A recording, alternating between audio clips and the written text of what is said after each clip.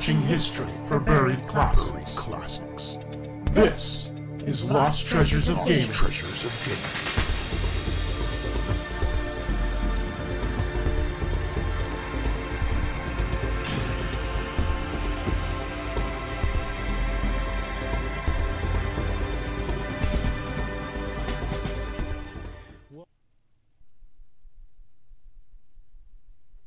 What's up, guys? It's Fred Rojas here from Gaming History 101, and welcome to Lost Treasures of Gaming, a collaboration with OMGNexus.com. Now, this week, Sid and Sean had a very special guest. Yes, friends, it was none other than Bill Hogue, the inventor, creator, if you will, of 1983's Miner 2049er. Now, if you're not familiar with this game, you will know it is an instant classic. And my co host Jam absolutely adores this game. Uh, and you know what? Actually, I don't know if this is indicative of anything, but it seems like a lot, a lot of Europeans love this game. Now, it's probably because it was, excuse me, quite prominent on uh, computer systems, microcomputers but also there is just some certain draw that Europeans seem to have, especially the Brits. But anyway, aside from that, um, Bill Hogue talks in the episode, and I highly recommend you check it out. Um, about the fact that they were he was kind of making a game that was going to take the spectacle of Donkey Kong and Pac-Man and kind of put them together. And I think that if you look, regardless of all the speculation, regardless of all the things that people have said, about what Miner 2049er is trying to accomplish. The reality of it is that very much so, Miner 2049er is a weird hybrid between Pac Man and Donkey Kong, and it works very well.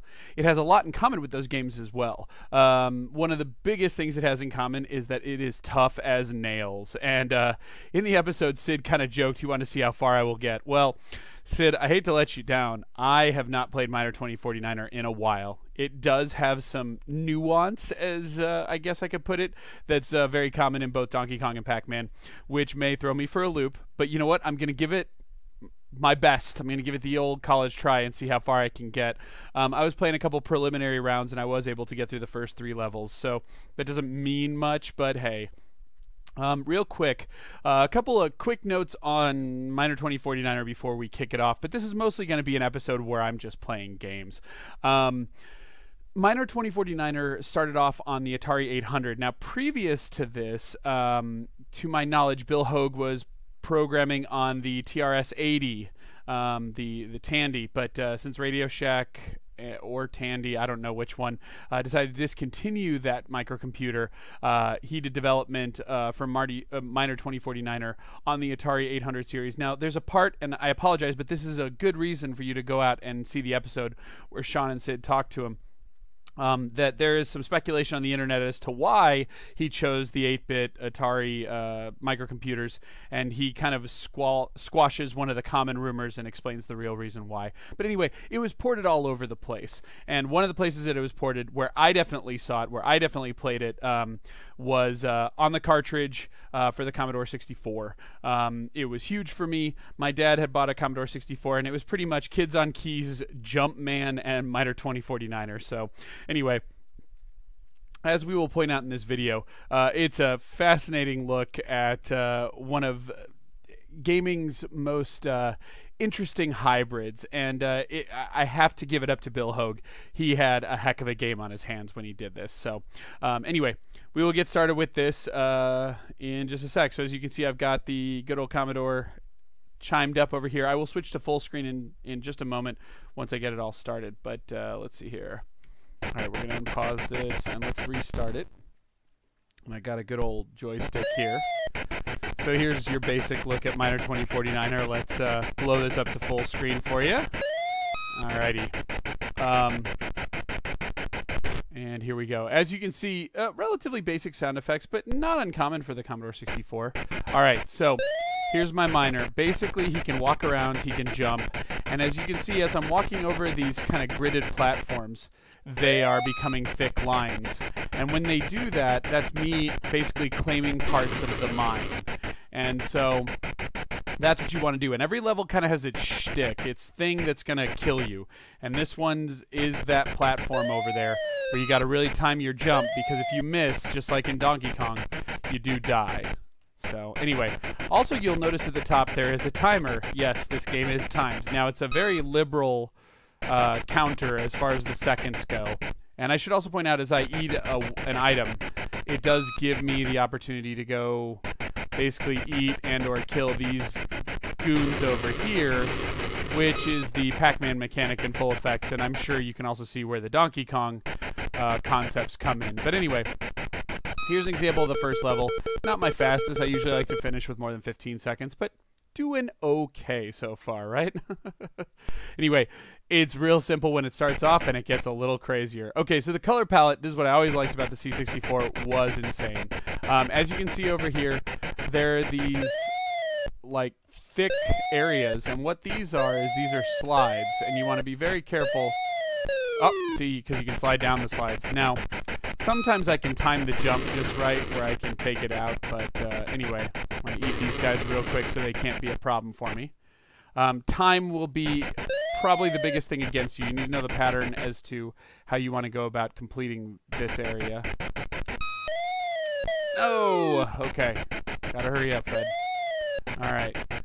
Let's go do the parts I do know very well as quick as I can, and maybe I can help myself out a little bit here.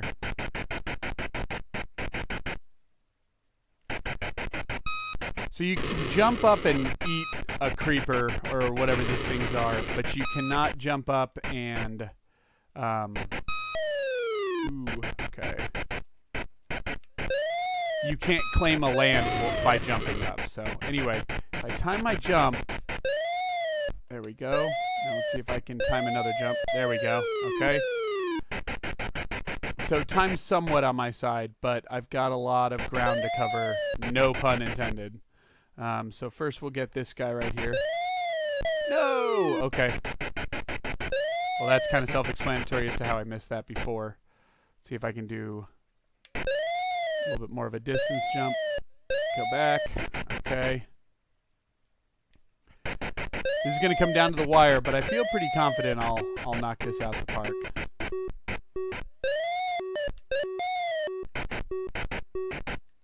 All right. No, I am going to die. Two blocks left. You see what I said? Time was against me. I did not do that with the uh, greatest finesse that I needed to.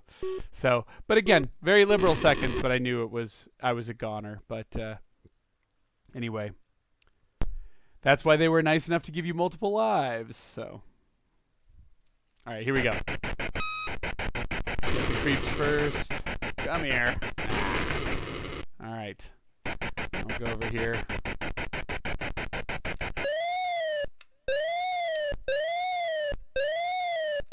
There we go. There we go. Okay. That's kind of a little trick as to how you can do that if you're lucky enough. There we go. Perfect. What I've got set up right here is exactly what I want set up. Ah, okay. Not that big of a deal for me right now. Going into it, doing pretty good. Got a decent amount of time, but I definitely want to clean that area up. No, as best I can. All right, I might have to go a little crazy with it. Well, crazy. That's a kind of joke term. There we go. Okay. I knew I was going to fall, but now I've got a decent amount of real estate taken up. Should be pretty good depending on what this creeper here wants to do. Ah, I tapped him. Hit detection on this is brutal. All right. Cyantane is saying on the first level that lone platform can be reached just by jumping underneath it. No kidding. See, I was having trouble with that. I, that's what I remembered, but I wasn't having much luck with that. So thanks for the heads up. I'm clearly going to have to... Uh, there we go. See, because I would hope I could do the same thing with this platform here, but, like, it's not letting me do it. Oh, oh, okay. Here we go. So far, so good on the time, but I'm sure I'm not making Sid proud with this performance so far. there we go. That's a little something that uh, might be able to get some credit for. Now, much like uh, Donkey Kong, I can jump over them, but it doesn't do anything to them yet. Alright, let's claim this. It would be almost embarrassing if I couldn't pull this off now.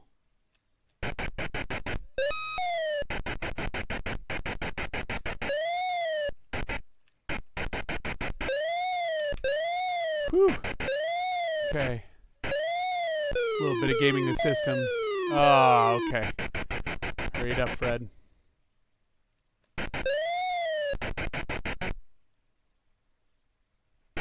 Okay. So it is just a. Ziantane says that platform is higher. So it is really just a size thing. Okay, come on.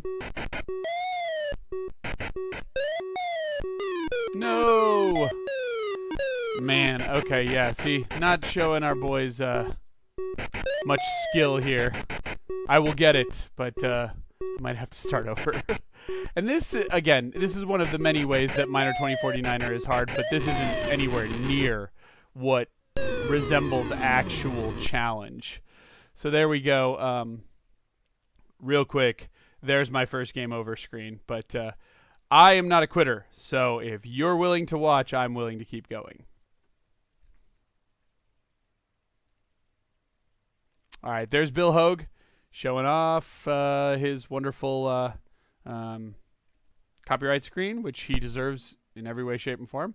All right, let's get going on this. All right, let's see here.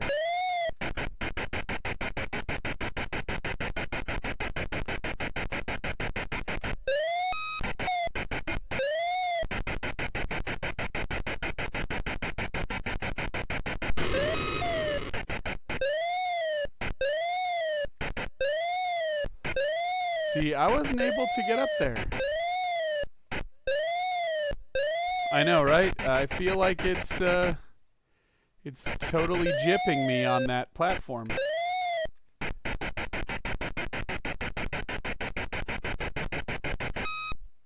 But no harm, no foul.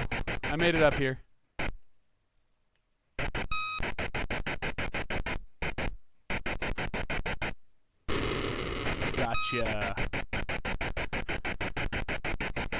An often fun game I like to play is trying to guess what these things are. Like, what is this? Is this a uh, frisbee, a candy wafer. What was left for me there?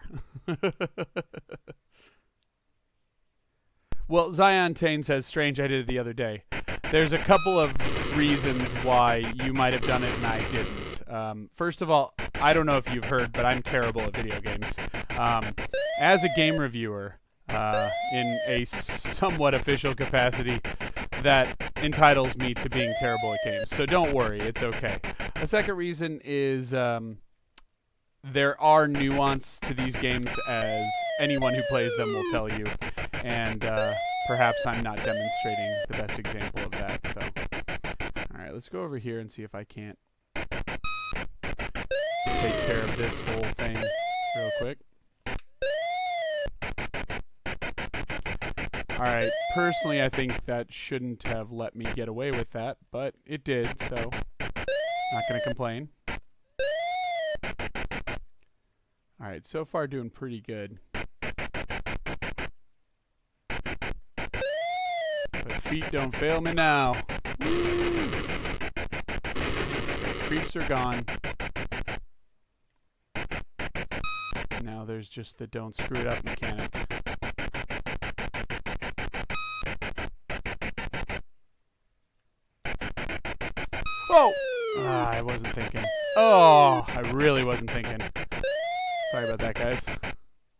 Overreacted there. uh, didn't mean to scream out like as if I'd been punched in the gut or something.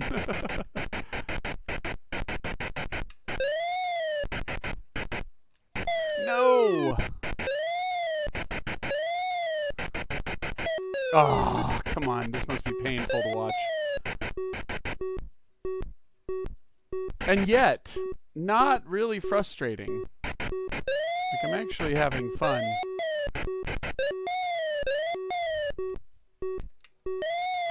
Can I get lucky? Yes! Ha ha ha! Zero seconds left.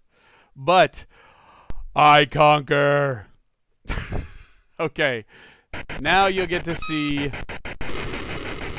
a little bit more of the uh, the really crazy parts of this game.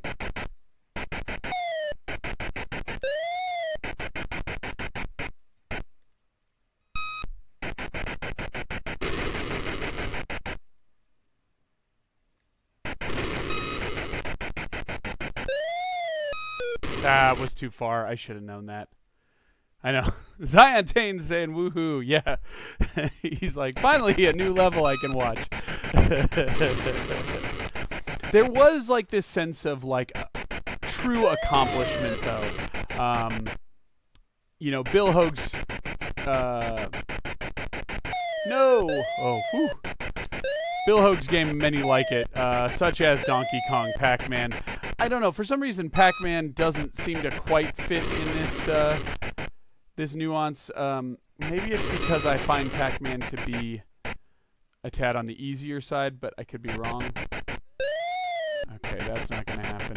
But um, but I don't quite have the sense of accomplishment shoot um, with uh, with Pac-Man that I do with stuff like this and uh, and Donkey Kong and whatnot. But all right, now if I'm not careful, you guys are going to have to be watching even more of that previous level. But you know what? The biggest thing about Miner 2049er, and again, games of this ilk, is that the more you play them, the better you get at them. And I truly believe that. So. That's the one plus side. Can I live this? Please say I can live this. I can. Alright, I've got plenty of time, and I've got no bad guys left. The one question I do have is, how do I get up to... Oh, no! How do I get up to platform 3? I wonder if those are elevators I can truly take. They did light up when I went over them. Um, Zion I know you, uh, Sean, I know you're in the, the chat. Any insight you can offer appreciated. What's going on?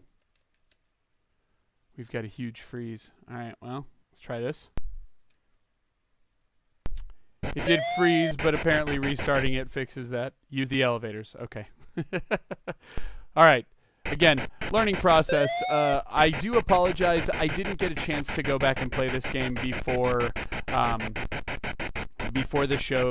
Like other than like the short period of time I spent with it before doing the show tonight. But to a certain extent, I do like that that's the case. Um, if for no other reason, then yeah, I don't know. I cannot find the right pixel that allows that jump to happen. But fortunately, I can make the jump, so I'd say I'm okay. But uh, anyway, I think it's best to, you know, uh, have a familiarity with the game, which I always try to do. Even Rescue on Fractalus, like I hadn't played it, I think in decades, but at least I remember playing it with my friends, and I remember them getting it and things like that. But uh, but there is something to like rediscovering these games. So um, you know, I'm sure if I ever went back and did Jumpman, and again, I know I'm asking for the universe here, uh, Zion Tane, but if you ever happen uh, to uh, find the uh, developer of Jumpman, and I will certainly do what I can to help you find that person. Um, I would love that Lost Treasures of Gaming, and I would love to play it again. Uh, I don't need an excuse uh, like Lost Treasures of Gaming to play it again, but I would still love the excuse. Um, but uh, all right, here we go.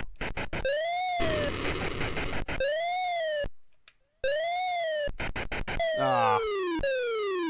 I have to apologize to a certain extent. There's a little bit of the uh, the joystick into the computer um, a little bit. I mean, not enough that it's really bothering me.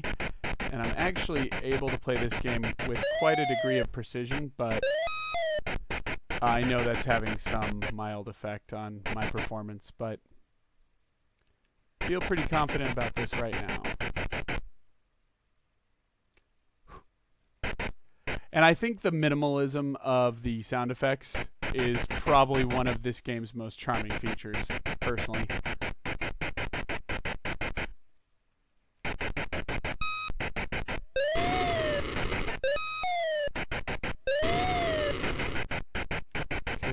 Taken care of.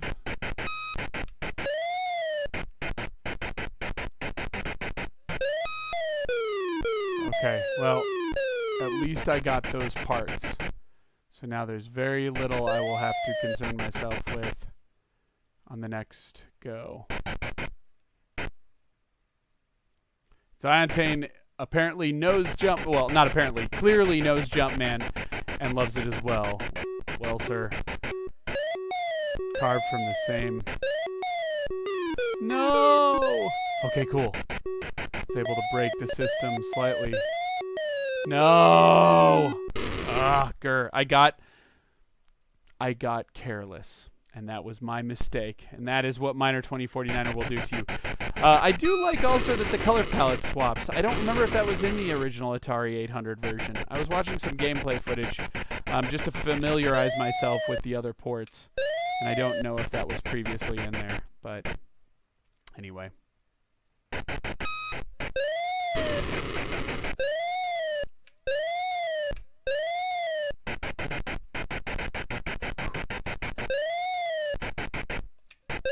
No, no, no, no, no, no. Uh, it's painful to watch, I know. well, uh, Ziantane, I am not going to give up, but you need to do me a favor and tell Sid I apologize for being so abhorrent at this uh, beloved game from both your childhoods and probably Bill Hogue, but fortunately, I don't think um, he's going to uh, be too mad at me. Uh, he's just happy that uh, um, people are still playing and enjoying his game, of which I am definitely doing both. Um, this game I'm still loving, even though it's been so long and I so clearly stink at it. Whoa! Okay. Well, this kind of helps me consolidate some time, though.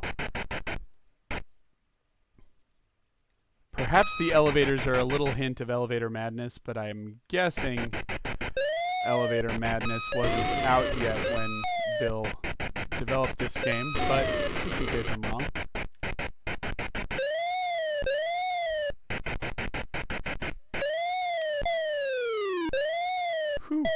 No, seriously. Okay. Let's get serious, Fred. Let's make sure to take care of business this time. No monkeying around. No goofballs. Alright, be very careful. Okay. No! Why was I not paying attention? No! Again, must be painful. Ziantane says it's not an easy game. I don't think any I do any better. Oh, I doubt that. However, um, also uh, Randy Glover on the show to talk about Jumpman. Ziantane says so. There you go. There's your exclusive, Randy Glover. Oh, and one block is my undoing. Think this may be game over. If this is a game over, I'm going to regretfully call it a close to tonight's Miner 2049er. But I do have some notes to say real quick. So, okay, that will mark my game over. I do apologize. But I'm hoping this did a couple of things, and I will talk about that in just a second. So let's switch this on over. All right, there we go. All right. So, what I am hoping is that if nothing else, this game has made you want to play it. You should want to play it. If you are a fan of old school arcade games, the 80s, anything that would have been in Flynn's arcade, I don't know. Uh, Miner 2049er is one of those pinnacle games that kind of captures what we all loved about the arcades. So I highly recommend giving it a try. Go get it. It was on lots of things. I think it was even on the 5200. There should be playable ways to play it, and there's uh, there's even online ways to play it. Now, if you go over to Bill Hogue's site, um, I know they had a broken uh, online version of it, but you can attempt to you know, again, you can attempt to play it and see if it works on your system. Uh, I know Sean proved that Windows 10 definitely doesn't work, but if that doesn't work for you, there are other places like archive.org which do have these games available and you can play them streaming online. But they're super fun.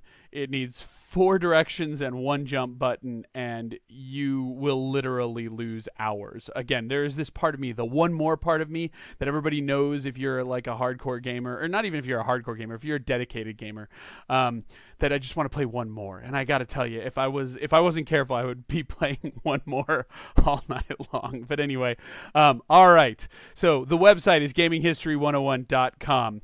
This Twitch stream is uh, twitch.tv forward slash GH101. And of course, there we also have our YouTube page uh, at gaminghistory101.com, which you can link to. But if you want to go directly there, it's uh, youtube.com forward slash VGPTGS. Yes, I know. Sorry, I can't change it now.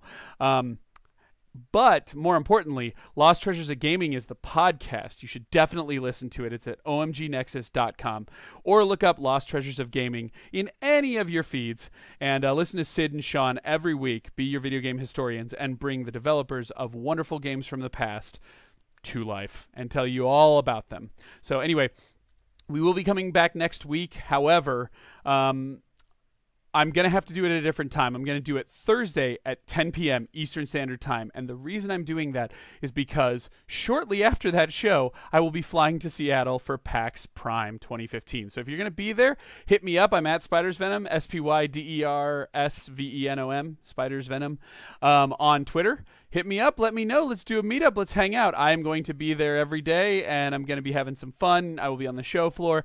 And then we've got some open to the public parties. If you want to see some great games, that'll be the place to do it. So if you're in the Seattle area, definitely hit me up. Anyway, until next week, this is Fred Rojas saying peace out.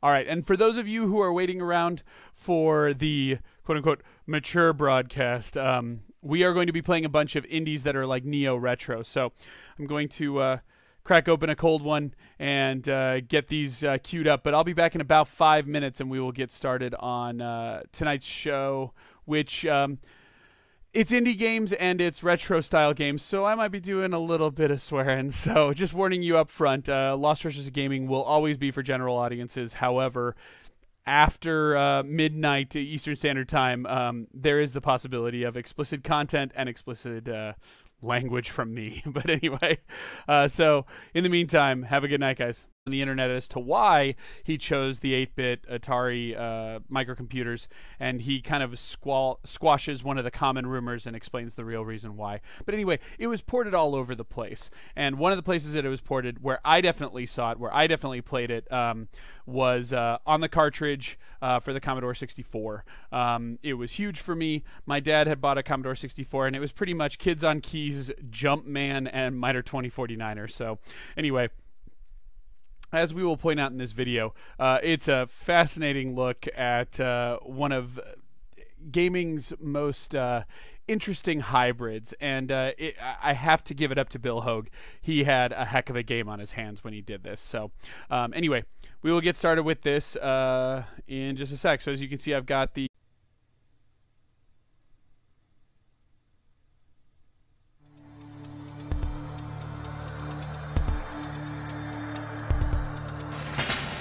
searching history for buried classics. classics. This is Lost Treasures of Lost Gaming. treasures of gaming.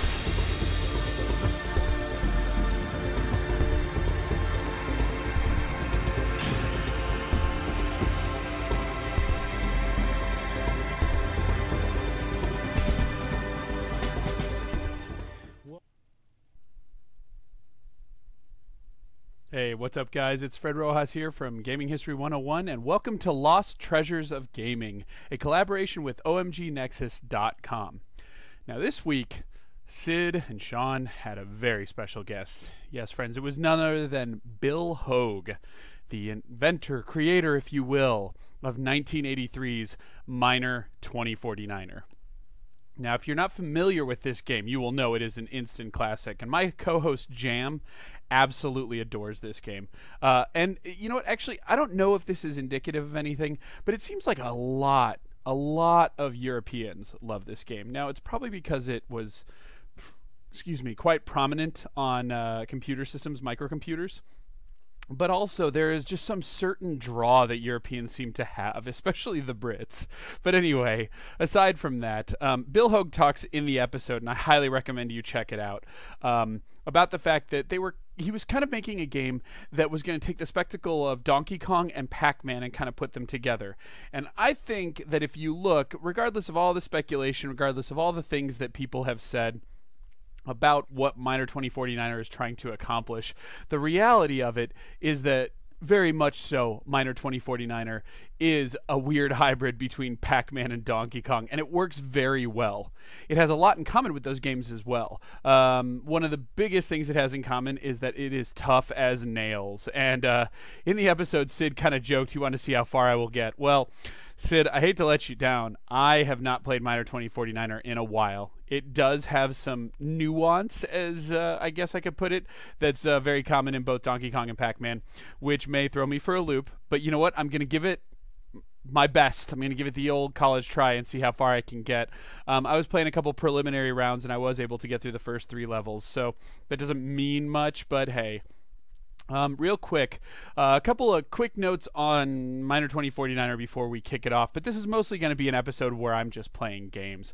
Um, Miner 2049er started off on the Atari 800. Now, previous to this, um, to my knowledge, Bill Hogue was programming on the TRS 80, um, the the Tandy, but uh, since Radio Shack Eh, or Tandy, I don't know which one, uh, decided to discontinue that microcomputer. Uh, he did development uh, for Marty uh, Miner 2049er on the Atari 800 series. Now, there's a part, and I apologize, but this is a good reason for you to go out and see the episode where Sean and Sid talk to him. Um, that there is some speculation